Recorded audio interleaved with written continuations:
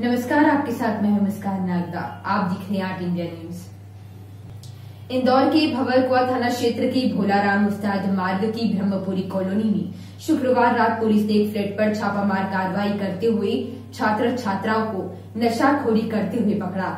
Police ने मकान मालिक सहित हुक्का बार संचालित करने वाले आरोपियों को पकड़ा है। दरअसल इंदौर की भवरकुआ पुलिस को रहवासियों द्वारा लगातार शिकायत मिल रही थी कि भोलाराम उस्ताद मार्ग की बुरी रहवासी कॉलोनी के एक फ्लैट में हुक्का बार संचालित किया जा रहा है और साथ ही नशेड़ियों का जमावड़ा भी लगा रहता है, जिस पर भवरकुआ पुलिस ने छापामार कार्रवाई करते हुए मौके से नशे का सामान सहित हुक्का बार संचालित करने वाले सबूर अली, अब्बास महुवाला सहित मकान मालिक कमल कुमावत सहित हुक्के के फ्लेवर्ड सप्लाई करने वाला मंजित को भी गिरफ़्तार किया है। वहीं भवरकुआ थाना क्षेत्र की छात्र छात्राओं को नशे की लत लगाने वाले पाँच आरोपियों पर पुलिस ने तंबाकू अधिनियम और आईपीसी 336 के तहत मामला दर्ज किया है।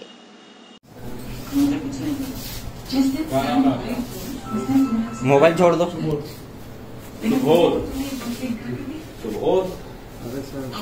चलो हाथ हटा। हाथ हटा। क्या नाम है? करते सब ये? कहाँ के? हैं? और कौन अंदर से? श्यामगढ़ श्यामनगर। श्यामनगर कहाँ पर? माणिक बाग श्यामनगर के। आपका अब्बास। महुआ। कहाँ के हो?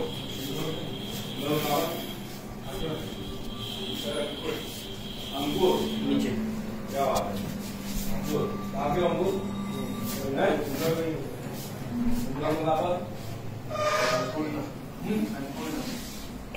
बहुत दिन से गोपनीय तरीके से शिकायत आ रही थी कि भोलाराम उस्ताद मार्ग ब्रह्मपुरी कॉलोनी ब्रह्मपुरी कॉलोनी में फ्लैट में कुछ लोग कई महीनों से जो क्षेत्र के युवा हैं, जो छात्र हैं, उनको वहाँ पर हुक्का बार चला के और हुक्के के जो नशे का सेवन करा रहे हैं। और हुक्के में कुछ फ्लेवर, टोबैको वगैरह यूज़ हो रही है।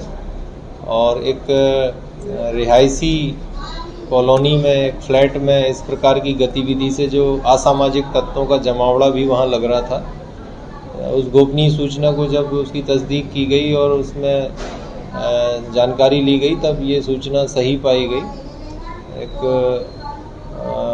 जो व्यक्ति है माणिक बाग कॉलोनी के रहने वाले सबूर अली और अब्बास महूवाला, ये दो लोग वहाँ पर हुक्का बार चला रहे थे, जहाँ पर जो कम उम्र के छात्र छात्राएँ और युवा वर्ग बार बार जा कर के और वहाँ पर एक बंद कमरों में हुक्का का सेवन कर रहा था। और सार्वजनिक जगह पर और इस फ्लैट में इस प्रकार की गतिविधि अवैधानिक है, जिसमें तंबाकू विनियमन जो अधिनियम है, उसके तहत और धारा तीन 336 आईपीसी के तहत प्रकरण पंजीबद्ध किया गया है। इसमें जो मकान मालिक की भी मिली भगत पाई गई है, उसको भी आरोपी बनाया गया है। और हुक्के में काम आने वाला जो फ्लेवर टोबैको है वो सप्लाई करने वाला मंजीत नाम का जो शख्स है उसको भी आरोपित किया गया।